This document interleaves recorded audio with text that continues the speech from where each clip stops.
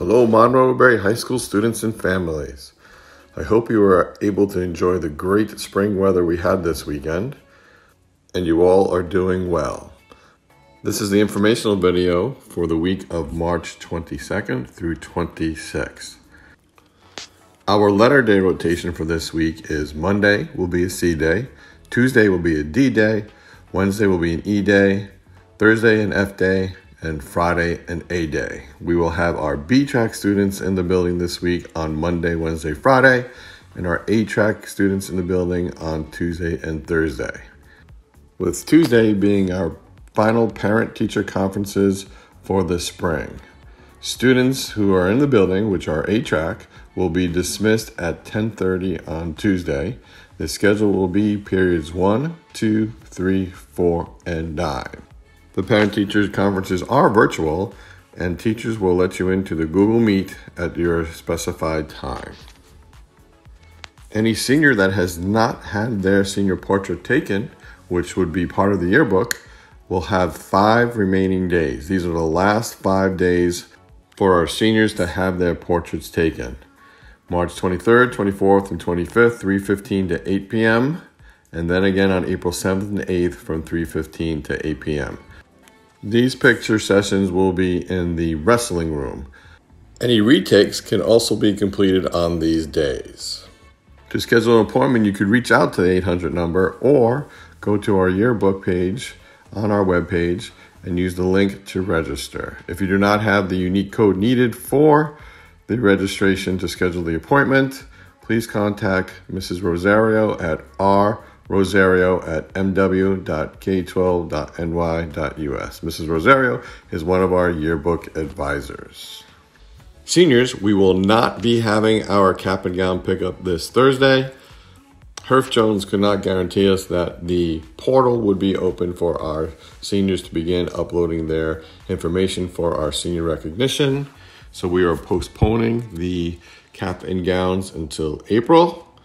We will be sending a email to parents and seniors uh, Monday or Tuesday this week with all the information concerning upcoming events for seniors that we have confirmed.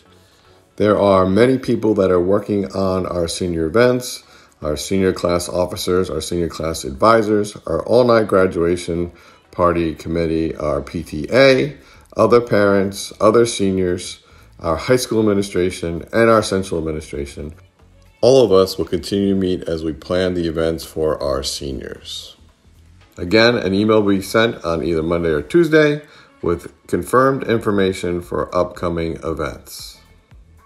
Just a reminder to juniors any junior that is interested in being the student representative to the Board of Education for the 2021 2022 school year, your application is due Friday, April 16th.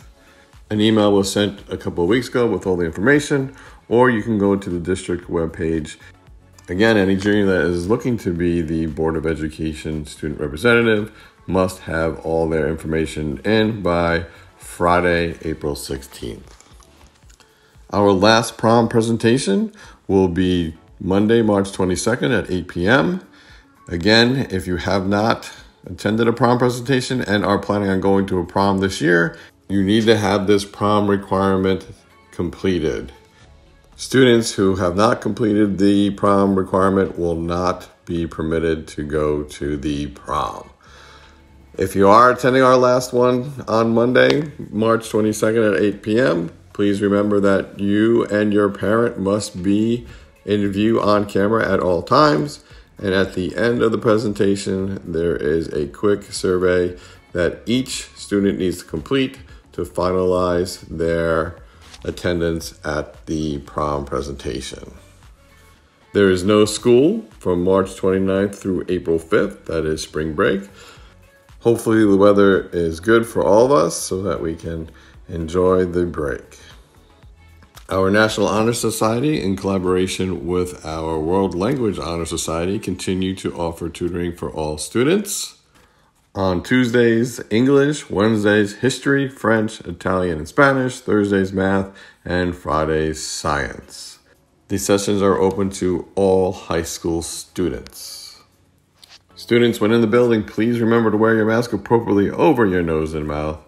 When possible, wash your hands or use a sanitizer that we have in the building. Keep that distance of six feet between you and those around you. These three things will help us to remain in school and be healthy and safe. Parents, please remember to complete the COVID 19 SNAP screening each morning by 6:45 that your student is in the building. This helps us have a smooth and quick entry for all our students into the building. A reminder all students that your IDs need to be displayed whenever you are in the building. This also helps us to increase our safety for all. That's it for this week, everyone. Have a great week and enjoy spring break next week. Be well.